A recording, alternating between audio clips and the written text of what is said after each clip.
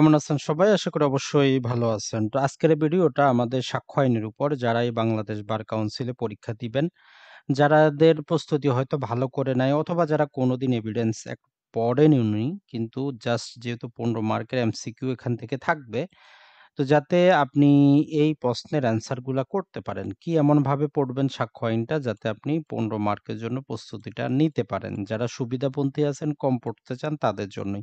যারা in detail প্রতি পেজে পড়তে চান তাদের জন্য না। তারপর আপনি দেখতে পারেন, প্রয়োজনে আপনি সেখান থেকে উপকৃত হবেন। তো সাক্ষ্য আইনটার মধ্যে ৩ টা পার্ট আছে এটা আমরা সবাই জানি। এগারোটা চ্যাপ্টার আছে। কবে প্রস্তুত হইছি এটা আমরা সবাই জানি। তো এগুলো আইনের বেসিক নিয়ম যেমন আইনটা কত নাম্বার আইন এগুলো আপনি জেনে নেবেন বাংলাদেশ বার কাউন্সিলে ছয়টা যে আইন আছে, কোনটা কত নাম্বার আইন এটা যে জেনে নেবেন কবে এটা পাশ হইল কবে কার্যকর হইল সেটাও জেনে নেবেন তো এখন আসি আমরা সবচেয়ে গুরুত্বপূর্ণ যখন আপনি কি করবেন এই পাঁচ থেকে নিয়ে ৫৫ যখন আপনি পড়তে যাবেন আপনার মাথায় কিন্তু কি করবে ঘুরবে। আপনি চিন্তা করবেন যে আমি কি পড়তে আসলাম। মাথা কিন্তু ঘুরবে। যতই আপনি এক্সপার্ট হন, পাঁচ থেকে ৫৫ টা আপনাকে আগে বুঝতে হবে যে আসলে এটার ভিতরে কি জিনিসটা আছে। পাঁচ থেকে ৫৫ টা পড়ার আগে বুঝতে হবে ভিতরে কি আছে।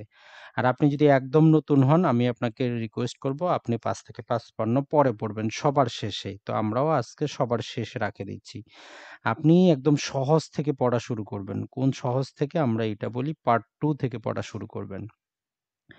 পার্ট 2 এর চ্যাপ্টার থ্রির মধ্যে ৩ টা সেকশন পাবেন। এই ৩ টা সেকশনে আপনাকে পড়তে হবে বাদ দেওয়ার মতো কিছু নেই। এটা আপনাকে পড়তেই হবে, হবে। এটা থেকে একটা এমসিকিউ আসতে পারে। এটাই হচ্ছে গুরুত্বপূর্ণ। এটাকে একটা বলে যে জুডিশিয়ালি নোটিসেবল ফ্যাক্ট অর্থাৎ বিচারিক যে দৃষ্টিগোচর কিছু বিষয় আছে। আদালতে এমন কিছু জিনিস আছে যেগুলো আপনার প্রমাণ করার দরকার নাই। সেগুলো হচ্ছে আমাদের জুডিশিয়াল নোটিসেবল ফ্যাক্ট। এইটা একটু পড়বেন। তারপরে আটান্ন নম্বরটা এডমিটেড ফ্যাক্ট। দুইটা জিনিস প্রমাণ করার দরকার নেই। Judicial noticeable fact, admitted fact. এই ২ টা সেকশন পড়বেন। এখন এই যে জুডিশিয়াল নোটিসেবল ফ্যাক্ট এগুলো অনেকগুলা ৫৭ নম্বরে সেখানে কি দেওয়া আছে? অপশন দেওয়া আছে। আপনার কাজ হচ্ছে সেইটা আপনাকে পড়তে হবে। এটা কীভাবে পড়তে হবে তার টেকনিকও আমরা দিয়ে দিয়েছি। তারপরেও আপনি আপনার মতো করে বুঝে নেবেন সেখানে যেমন আমরা বলি দেশের আইন, যুদ্ধের বিধি সংসদে পাস হয়। অর্থাৎ বাংলাদেশের সকল আইন, সকল যুদ্ধবিধি, আইন কোথায় পাস হয়? সংসদে। তাহলে যুদ্ধের আইন, তাহলে দেশের আইন, যুদ্ধের বিধি সংসদেই পাস হয়। পাস হওয়ার পরে কি হয়? রাষ্ট্রপতি সেখানে রাষ্ট্রপতি সিল দিয়ে দেন। কারা দেয়? রাষ্ট্রপতির আদেশক্রমে গেজেটেড কর্মকর্তা সচিবরা দেয়। তাহলে আপনি পড়বেন দেশের আইন, যুদ্ধের বিধি সংসদে পাশ হয়ে রাষ্ট্রপতির আদেশে সেখানে সিল দিয়ে দিচ্ছে। গেজেটেড কর্মকর্তা তার দায়িত্ব পালন করতেছে। তার মানে আপনি বাংলাদেশের যত প্রকারের সিল আছে, গেজেটেড কর্মকর্তার দায়িত্ব, পদবি, স্বাক্ষর এগুলো বিচারিক কার্যক্রম এগুলো আপনার জানার প্রয়োজন নাই। এইরকম আমরা আরও টেকনিক দিয়েছি। আপনি সেটা দেখে নেবেন যেহেতু এটা জাস্ট শর্টকাট আমরা ভিডিওটা দ্রুতই শেষ করব। তাহলে এই আপনার ৫৬, ৫৭, ৫৮ এই ৩ টা সেকশন আপনি এতটুকু পড়লেই চলবে।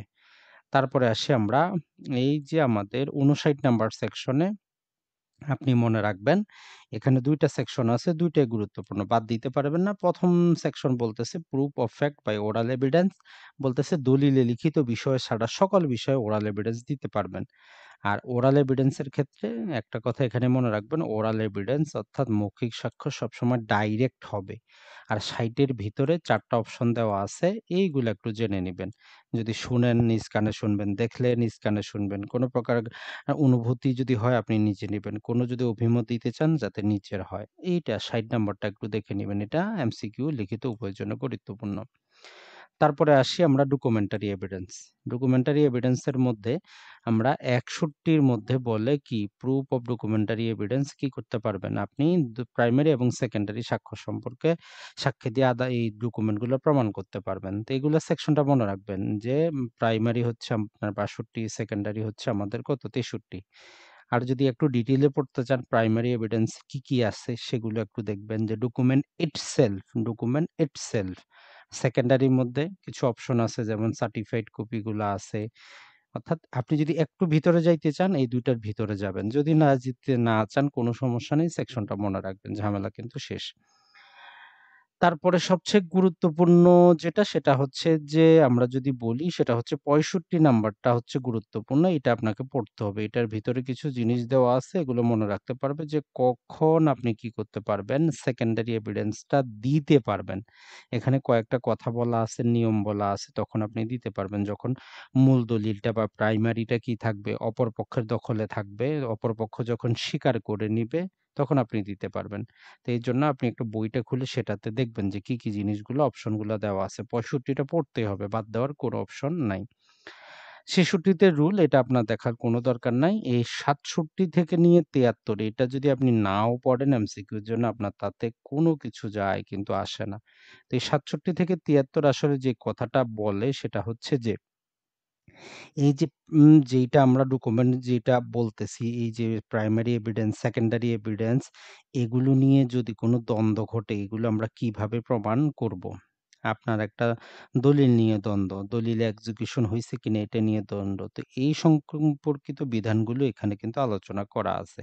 আপনি চাইলে পড়তে পারেন, না চাইলে বাদ দিতে পারেন, কোনো সমস্যা নেই। তারপরে পড়তে হবে ৭৪ আর ৭৫। ৭৪ এর মধ্যে কোন, কোন কোনটা পাবলিক ডকুমেন্ট সেখানে কিছু কথা বলা আছে। সেইটা আপনাকে কি করতে হবে? সেইটা আপনাকে দেখতে হবে যে পাবলিক ডকুমেন্ট কোনটা? এটা একটা বইটা খুলে একটু দেখবেন সেখানে বলা আছে যে সভরেন অথরিটি বাংলাদেশ বলেন, কমনওয়েলথ বলেন, সারা বিশ্বের অর্থাৎ পৃথিবীর যত দেশে যত আইন আছে, যত বিধি আছে, যত সরকারি কর্মকর্তা আছে সব কিছুই হচ্ছে আমাদের পাবলিক ডকুমেন্ট। আরেকটা কথা হচ্ছে যে আপনার প্রাইভেট ডকুমেন্ট যখন সরকারের কাছে থাকে সেটাও আমাদের পাবলিক ডকুমেন্ট। এখন পাবলিক ডকুমেন্ট কীভাবে প্রমাণ করবেন? ৭৬ এর সার্টিফাইড কপি, ৭৭, ৭৮ এটাতে বলা আছে কীভাবে প্রমাণ করবেন। তাহলে আমাদের ১ম ৩ টা আমরা মনে রাখব। ৭৪ এ পাবলিক ডকুমেন্ট, ৭৫ এ প্রাইভেট ডকুমেন্ট, ৭৬ এ তার সার্টিফাইড কপি। এই ৭৯ থেকে ৯০ এটা শুধু ধারণা। এখানে আপনার ভিতরে গিয়ে পড়ার কোনো দরকার নাই। জাস্ট আপনি মনে রাখবেন যে এখানে সেল প্রিজিউম এবং মে প্রিজিউমে আছে। এক নাম্বার হচ্ছে যে কোনো প্রকার সার্টিফাইড কপি সম্পর্কে আদালতের ধারণা কি হবে? সেল প্রিজিউম আদালত সত্য বলে ধরে নিবে। ৮০ নাম্বারে হচ্ছে যে কোনো জুডিশিয়াল রেকর্ড যদি হয় সেটাকে আদালত শেল প্রিজিউম করবে যে ঘটনা সত্য। এখানে মিথ্যার কোনো অবকাশ নাই। যদি ইউকে, ইংল্যান্ডের যদি কোনো জিনিস হয়, ডকুমেন্ট হয় সেখানে যদি সিলও না থাকে আদালত ধরে নেবে এটা সত্য। যদি কোনো ম্যাপ হয়, প্ল্যান হয় যেগুলো সরকার পাবলিশ করছে আদালত ধরে নেবে এটা সত্য। তারপরে যদি আমরা দেখি, সেটি হচ্ছে যদি কোনো ল বুক হয় বা রিপোর্ট হয়, ধরে নিবে এটা সত্য। তাতে কোনো সমস্যা নাই। আর পাওয়ার অফ অ্যাটর্নি সম্পর্কে ধারণা যে, পাওয়ার অফ অ্যাটর্নি কি? সত্য। সেলফ রেজিউম, এখানে মিথ্যার কোনো কিছুই নাই। তারপরে যদি আমরা দেখি সেটা হচ্ছে যে ৮৬ নাম্বারটা হচ্ছে আমাদের মে প্রিজিউম যে বিদেশি আদালতের রায় আদালত সত্য বলে ধরে নিতে পারে। এটার সাথে সিপিসি আমরা ১৩ এবং ১৪ আপনি একসাথে মিলিয়ে পড়তে পারেন। তাহলে একটু ইজি হবে। তারপর প্রিজামশন অফ বুক বাজারে যে বইগুলো পাওয়া যায়, ম্যাপ পাওয়া যায়, চার্ট পাওয়া যায় আদালত বলবে সত্য হইতে পারে। তারপর টেলিগ্রাফিক কমিউনিকেশন যেগুলো আছে যে সত্য হইতে পারে এরকম। আর presumption due execution document not produce অর্থাৎ যেটা আদালত বলেছে আপনি এটা আদালতে নিয়ে আসেন। আপনি আনেন নাই আদালত ধরে নিবে শেল প্রিজিউম করবে। এইটা একটু ব্যতিক্রম যে এটা শেল প্রিজিউম করবে যে হ্যাঁ, এই দলিলটা যেইভাবে কার্যকর হওয়ার দরকার ছিল, সম্পাদন হওয়ার দরকার ছিল ওই, ওইভাবে সম্পাদন হয়েছে নব্বই নম্বরটা শুধু সেকশনটা মনে রাখবেন যে প্রিজাম্পশন অ্যাজ ডকুমেন্ট ৩০ ইয়ার্স ৩০ বছরের পুরাতন দলিল আদালত কি করতে পারে? মে প্রিজিউম করতে পারে। তাহলে দেখেন কত সহজ হয়ে গেল জাস্ট সেকশনটা মনে রাখবেন। তো ৯১ থেকে একশোর মধ্যে সবগুলো আপনার জন্য কিন্তু গুরুত্বপূর্ণ না। ৯১ নাম্বারটা আপনার জন্য গুরুত্বপূর্ণ এবং ৯২ নাম্বারটা আপনার জন্য গুরুত্বপূর্ণ। এই ২ টা হচ্ছে সিভিল মামলার মেরুদণ্ড। অর্থাৎ যেই জিনিসটা কোনো একটা যদি চুক্তি, কোনো একটা গ্রান্ট, কোনো একটা আধার ডিসপোজিশন প্রপার্টি হয়, এইটার ক্ষেত্রে আপনি যে প্রমাণটা দিবেন। সহজ কথা কোনো যদি জিনিস লিখিত হয়, আইন যদি বলে লিখিত হয় সেটা নিয়ে দ্বন্দ্ব করলে ওই লিখিত জিনিসটা নিয়ে আসেন। ৯১ বলতেছে মুখের কথা চলবে না, লিখিত জিনিসটা নিয়ে আসেন। ৯২ বলতেছে ওইটার মধ্যে কোনো সত্য পরিবর্তন করতে চাচ্ছেন, মৌখিক কোনো সাক্ষ্য সেখানে চলবে না। তার কিন্তু এক্সেপশন আছে। জাস্ট আমরা মনে রাখব ৯১ আর ৯২ এখন এই ৯৩ আর ৯৪ ২ টা একসাথে পড়বেন শুধু সেখানে কীভাবে যদি ওই ডকুমেন্টটা বাইরে থেকে দেখেই মনে হয় এটার মধ্যে সন্দেহ আছে, এটার মধ্যে যে ত্রুটি আছে তাহলে সেটা সংশোধন করা কি যাবে না? সেটা সংশোধন করা যাবে না। তারপরে বলা হচ্ছে যে ওই ডকুমেন্টটার যেই বস্তুটা আছে সেটা যদি অস্তিত্ব থাকে সেইখানে প্রয়োগ করতে গেলে যদি অস্তিত্ব থাকে সেখানে মৌখিক কোনো সাক্ষ্য চলবে না তারপরে আমাদের পঁচানব্বই ছিয়ানব্বই সাতানব্বই আটানব্বই নিরানব্বই একশো এটা না পড়লেও চলবে আপনি। তারপরে মনে রাখলে আপনি রাখতে পারেন, সেটা হচ্ছে যখন ভিতরগত ত্রুটি থাকবে, তখন সেখানে মৌখিক সাক্ষ্য গ্রহণযোগ্য হবে এতটুকুই। আর ইন ডিটেলে যদি পড়তে চান, আমাদের সাতকাহন অ্যাডভোকেসিতে আপনারা অংশগ্রহণ করতে পারেন, সেখানে আমরা পড়িয়ে দিব। এখন আসি আমরা বার্ডেন অফ প্রুফটা পড়বেন তারপরে। একশো এক এবং একশো দুই, এটা একদম জেনারেল রুল সেটা হচ্ছে আপনি মামলা করলে আপনি প্রমাণ করবেন। বার্ডেন অফ প্রুফ কার? যে মামলা করবে সে। কার উপর বার্ডেন অফ প্রুফটা বর্তায়, সেটা বলা হচ্ছে যিনি হেরে যাবেন আদালতের রায়, সে তার উপর বার্ডেন অফ প্রুফটা বর্তায় দুটো জিনিস। আপনি মামলা করলেন, আপনি হেরে যাবেন। আদালতে কোনো পক্ষ এভিডেন্স দিল না, আদালত একটা রায় দিবে, যে পক্ষ হেরে যাবে তারই উপর burden of proof. Particular fact সম্পর্কে যদি আপনি জানেন, তাহলে এটা আপনার দায়িত্ব, যে আপনি সম্পর্কে জানেন, আপনি প্রমাণ দিবেন। তারপর যেটা বলা হচ্ছে সেটা হচ্ছে আপনি যদি আদালতে কোনো প্রকার একটা ঘটনাকে এডমিসেবল করাইতে চান, এটা আপনাকে প্রমাণ করতে হবে।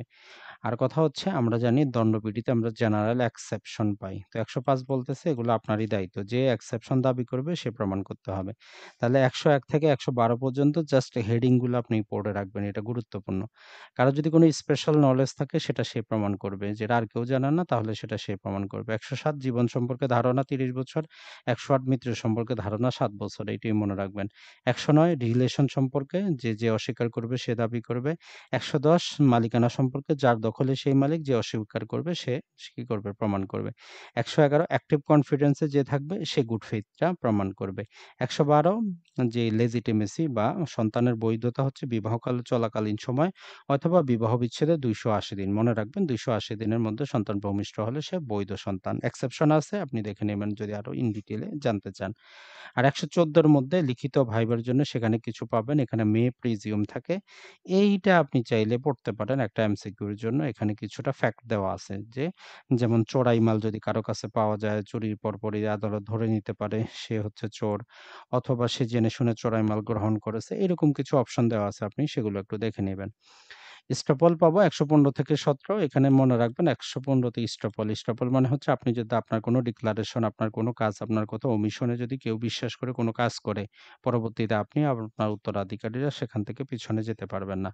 একশো ষোলো, স্থাবর সম্পত্তি কথা বলে যে, যারা টেনেন, ভাড়াটিয়া সারা জীবন ভাড়াটিয়াই থাকবে লাইসেন্সি সারা জীবন লাইসেন্সি থাকবে, সে মালিকের মালিকানা অস্বীকার করতে পারবে না। সতেরো, অস্থাবর সম্পত্তি নিয়ে আলোচনা করে অর্থাৎ acceptor of bill of exchange অর্থাৎ আপনি যাকে চেক দিলেন অথবা বেলি বেলি মানে হচ্ছে যে আপনার কাছে জিনিসটা ফেরত দিতে আইনগতভাবে বাধ্য। লাইসেন্সি অস্থাবর সম্পত্তি লাইসেন্সি এরা আপনার মালিকানা অস্বীকার করতে পারবে না। আর একশো আঠারো হ্যাঁ, একশো আঠারো উনিশ বিশ এই তিনটা আমরা একসাথে পড়ব। খুবই গুরুত্বপূর্ণ কে সাক্ষী দিতে পারবে সবাই দিতে পারবে। বয়সের কম অতিবৃদ্ধ যদি মানসিক সমস্যা শারীরিক সমস্যা থাকে যার কারণে প্রশ্ন না বুঝতে পারে তাহলে অযোগ্য হবে আর না হলে সবাই সাক্ষ্য দিতে পারবে। বোবাও সাক্ষ্য দিতে পারবে কোনো সমস্যা নাই। তারপরে স্বামী স্ত্রী সিভিল মামলা যোগ্য সাক্ষ্য ক্রিমিনাল মামলা যোগ্য সাক্ষ্য না। তবে দুইজনের মধ্যে মামলা চললে তখনই যোগ্য সাক্ষ্য। তারপরে প্রিভিলেজ কমিউনিকেশন মানে জজ এবং ম্যাজিস্ট্রেটকে আপনি বাধ্য করতে পারবেন না যে তার বিচারিক কার্যালয় কি ঘটছে সেটা বর্ণনা করার জন্য বাধ্য করতে পারবেন না। বিবাহ চলাকালীন সময় স্বামী স্ত্রীর মধ্যে কথোপকথন আপনি বাধ্য করতে পারবেন না। রাষ্ট্রীয় ব্যাপার সম্পর্কে কথোপকথন প্রকাশ করা যাবে না। ও অফিসিয়াল কমিউনিকেশন যদি জনস্বার্থের ক্ষতি হয় প্রকাশ করা যাবে না। তারপরে হচ্ছে একটা অপরাধের সংবাদ কে দিল সেটা আপনি পুলিশ বলেন ম্যাজিস্ট্রেট বলেন, কাউকে আপনি বাধ্য করতে পারবেন না। প্রফেশনাল কমিউনিকেশন যারা আছেন, অর্থাৎ যারা অ্যাডভোকেট আছেন, তারা তার মক্কেল ক্লায়েন্টের সাথে কি কথা বলল, এটা আর কারও কাছে প্রকাশ করতে পারবেন না। এই অ্যাডভোকেটের অধীনে যারা আরও কাজ করেন, পিয়ন থাকেন ক্লক থাকেন দোবাসী থাকেন, তাদের ক্ষেত্রে এটা প্রযোজ্য হবে। আর কথা হচ্ছে যখন এরকম কি হবে? এরকম অ্যাডভোকেট সাহেব। তো এটা আপনার জন্য এমসিকিউর জন্য গুরুত্বপূর্ণ না? আপনি এটা না পড়লেও চলে। শুধু এই ছাব্বিশটা গুরুত্বপূর্ণ। প্রফেশনাল কমিউনিকেশন তারপর যদি আমরা দেখি লিগ্যাল অ্যাডভাইজারের ক্ষেত্রে ওইরকম লিগ্যাল অ্যাডভাইজারও বলতে বাধ্য না। যদি স্বেচ্ছায় যদি বলে, বলল, নাহলে আপনি বাধ্য করতে পারবেন না। একশো তিরিশ বলতেছে যে production of title deed of witness not a party অর্থাৎ যেই ব্যক্তির দখলে, যে পার্টি না, একটা দলিল উপস্থাপন করার জন্য সে যদি আইনগতভাবে বাধ্য না হয়, তাহলে এটা যার কাছে থাকবে? সে এটা দিতে বাধ্য না। আইনগতভাবে আমি আদালত থেকে আমি কোনো পক্ষ না, আমি কও না, বাদীও না, বিবাদীও না, তাহলে আমি একটা দলিল উপস্থাপন করতে কি হব না, বাধ্য হব না। আমি যদি বাধ্য না হই, আমি যার কাছে রাখব, সেও বাধ্য না। তারপরে বলা হচ্ছে যে আমি চুপ থাকতে পারব না। আমার চুপ আমি যদি আদালত যদি কোনো প্রশ্ন করে যে যার উত্তর দিলে আমি হয়তো কি হব? অপরাধী হব, আমার সম্পত্তি বাজেয়াপ্ত হবে। এভাবে আমি চুপ থাকতে পারব না। দুষ্কর্মের সহযোগী সে একজন যোগ্য কি সাক্ষী হবে। তার সাক্ষীর ভিত্তিতে যদি শাস্তি হয় বেআইনি হবে না। মামলা প্রমাণ করার জন্য নির্দিষ্ট কোনো সাক্ষীর প্রয়োজন নাই। ১৩৫ থেকে যদি আমরা গোটাটা পড়তে যাই, এই ক্ষেত্রে আমাদের জন্য এমসিকিউর জন্য গুরুত্বপূর্ণ যেটা সেটা হচ্ছে ১৩৬ যে বিচারকের খুশি কোন শটা সে কোন এভিডেন্সটা সে গ্রহণ করবে কোনটা করবে না। আর ১৩৭ খুবই গুরুত্বপূর্ণ এক্সামিনেশন ইন চিফ জবানবন্দি কাকে বলে, জেরা কাকে বলে, পুনঃ সাক্ষ্য বা পুনঃজেরা কাকে বলে। ১৩৮ টা একদম মুখস্থ করে ফেলাবেন অর্ডারটা বর্ণনা করা আছে যে প্রথমে কি হবে জবানবন্দি, জেরা তারপরে হবে পুনঃ জবানবন্দি। তারপর যদি আমরা দেখি আমাদের জন্য গুরুত্বপূর্ণ হচ্ছে যেটা সেটা হচ্ছে লিডিং কোশ্চেন যে প্রশ্নের মধ্যে উত্তর থাকে যে আপনি তো আমার কোর্সে ভর্তি হয়েছেন, হন নাই? মানে হচ্ছে যার অ্যান্সার শুধু ইয়েস অথবা নো তে হবে। হ্যাঁ অথবা না, অন্য কিছু বলতে পারবেন না। তো ১৪২-৪৩ এগুলো আমাদের জন্য গুরুত্বপূর্ণ না। আমরা যদি দেখি সেটা হচ্ছে, এই ১৪৬ টার মধ্যে কিছু ভিতরে দেওয়া আছে যে কোন প্রশ্নটা, কি হবে আপনি ক্রস এক্সামিনেশন এর জন্য লফুল হবে সেটা দেওয়া আছে। তারপরে আমাদের এমসিকিউর জন্য যদি গুরুত্বপূর্ণ আমরা যেটা বলি সেটা হচ্ছে ১৫১ এবং ১০০ হচ্ছে বাহান্ন একশো একান্নতে বলা হচ্ছে ইনডিসেন্ট এবং স্ক্যান্ডুলাস প্রশ্ন আর যদি করেন তাহলে বিচারক আপনাকে নিষেধ করতে পারে এরকম প্রশ্ন করিয়েন না। কিন্তু যদি আপনাকে ইনসল্ট করে বিরক্তিকর, অপমানজনক প্রশ্ন করলে বিচারক কি করবে আপনাকে নিষেধ করবে। এটা আমাদের জন্য গুরুত্বপূর্ণ। আরেকটা গুরুত্বপূর্ণ হচ্ছে যেটা সেটা হচ্ছে যে ১৫৫ টা। যে কি, কি ভাবে আমরা কি করব? সাক্ষীর যে জবানবন্দি সেটাকে ডিসক্রেডিট করার চেষ্টা করব। সেখানে চারটা গ্রাউন্ড দেওয়া আছে। সেগুলো আমরা কি করব? মনে রাখব। তাহলে ১৫৫ টা খুবই গুরুত্বপূর্ণ। আর যদি দেখি আমরা সেটা হচ্ছে আমরা রিফ্রেশিং মেমোরিটা আমরা মনে রাখব। আর এটা ১৫৯ থেকে নিয়ে আমাদের মোটামুটি এই ১৬১ পর্যন্ত একই রকম কথা বলে। আমরা মনে রাখব শুধু কত ১৫৯ রিফ্রেশিং মেমোরি, মেমোরি রিফ্রেশ করা যায়। তারপরে যদি আমরা দেখি ১০০ প্রোডাকশন হচ্ছে একটা দলিল উপস্থাপন করা সংক্রান্ত বিষয় আমরা এখানে বুঝব। যদি কাউকে যদি দলিল উপস্থাপন করার জন্য বলে চাই সেটা রিলেভেন্ট হোক বা না হোক সে উপস্থাপন করতে বাধ্য। এখন এইরকম এক পক্ষ নোটিশ দেওয়ার পরেও যদি অপরপক্ষ সেই দলিলটা যদি নিয়ে আসে তাহলে যেই পক্ষ এটা আনার জন্য বলছিল সে অস্বীকার করতে পারবে না এভিডেন্স হিসাবে দেখাইতে গেলে। আর যদি ওই পক্ষ হাজির না করে, তাহলে আদালতের অনুমতি ছাড়া সে আর কখনোই দলিলটা ব্যবহার করতে পারবে না। ১৬৫ জজ power to put question order অর্থাৎ বিচারক সাহেব কি করতে পারবেন? যে কোনো পর্যায়ে আপনাকে প্রশ্ন করতে পারবেন। আর ১৬৭ মনে রাখবেন, যদি আপনি কি করে ইমপ্রপার অ্যাডমিশন ও রিজেকশন অফ এভিডেন্স যেটা গ্রহণ করার দরকার ছিল গ্রহণ করে নাই। যেটা রিজেক্ট করার দরকার ছিল রিজেক্ট করে নেই যদি এই মর্মে নতুন কোনো ট্রায়াল হবে না। হবে কখন? যদি কি হয়, ন্যায় বিচার ব্যাহত হয়। তাহলে দেখেন, মোটামুটি আমরা কিন্তু আপনাদেরকে এমসিকিউর জন্য যারাই একদম শর্টকাটে এমসিকিউর জন্য প্রস্তুতি নিতে চান, তাদের জন্য আমরা আপনাদেরকে মোটামুটি ২০ মিনিটের মধ্যে শেষ করে দিলাম। তো সামনের অংশটা একটু বলে দিই, সামনে তাহলে আপনারা কোনটা দেখবেন আর কোনটা দেখবেন না।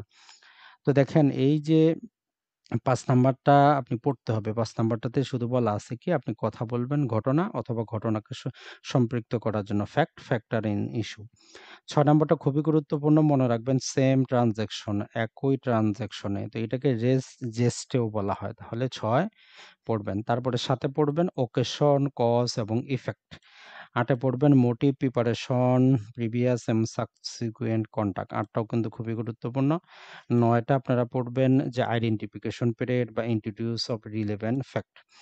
১১ নম্বরে কমন ডিজাইন শব্দটা মনে রাখবেন, কনস্পাইটর মনে রাখবেন। ১০ নাম্বার ১১ নাম্বারে হচ্ছে আদারওয়াইজ রিলেভেন্ট অর্থাৎ প্লি অফ এলিবি আপনি ওই ঘটনার দিন ওইখানে ছিলেন না, এই ঘটনাটা এরকম না। ১১ নাম্বারের সাথে সম্পর্কযুক্ত। তারপরে ১২ নম্বর হচ্ছে ড্যামেজ। ড্যামেজের জন্য যদি হয়, ড্যামেজকে নির্ধারণ করার জন্য যা কিছু নির্ধারণ করা যায় সবই রেলিভেন্ট হবে। ১৩ নাম্বার হচ্ছে যে কোনো প্রকার রাইট অথবা কাস্টম যদি প্রশ্নে হয় তাহলে কাস্টম রাইট সম্পর্কিত জিনিসগুলো রেলিভেন্ট হবে। আপনার state of mind, body, bodily feeling গুলাও রিলেভেন্ট হবে। এই যে একটা রোড অ্যাক্সিডেন্টের যদি আমরা মামলা হয় সেখানে এটা অ্যাক্সিডেন্টটা ইন্টেনশনাল না সেটা অ্যাক্সিডেন্ট অ্যাক্সিডেন্টই এই জন্য ১৫ নম্বরটা হবে। আর কোজ অফ বিজনেস সম্পর্কে ১৬ এই কয়েকটা জিনিস আমরা মনে রাখব। আর মনে রাখব আমরা ১৭ নম্বরে আমাদের আছে এডমিশন। এডমিশন কততে? ১৬ তে। তারপরে আমরা যেটা বল আমরা ২৪ এ যেটা পাচ্ছি সেটা হচ্ছে কনফেশন যদি কি করা হয়, যদি কোনো প্রকার ভয়ভীতি প্রমিসের মাধ্যমে নেওয়া হয় সেটা কোনো কাজে আসবে না। এতটুকু আমরা মনে রাখব।